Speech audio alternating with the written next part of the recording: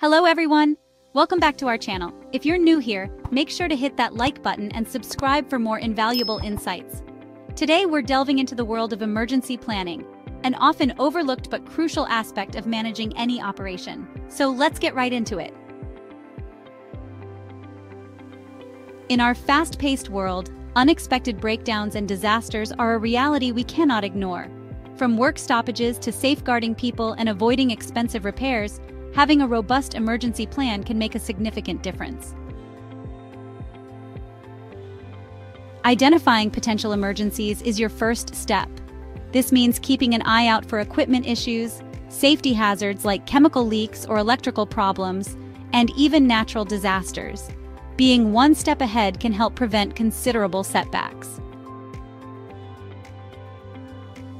The key lies in prioritizing and responding effectively. Whether it's a minor glitch or a major crisis, assessing the severity and impact efficiently can save the day.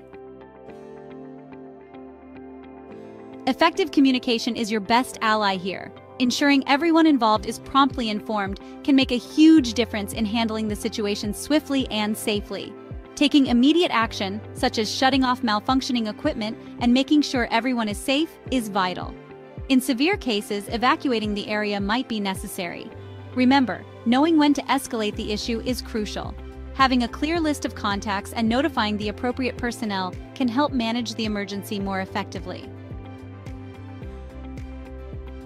Once the dust settles, thorough documentation and a review process are indispensable. This not only aids in learning from the incident, but also improves your response for future emergencies. Emergencies can be daunting, but with regular practice and a commitment to improvement, your team can handle just about anything. The goal is always to prioritize safety, act quickly, and keep your plans up to date. Focusing on continuous improvement, you're setting yourself up for success against any challenge that may arise.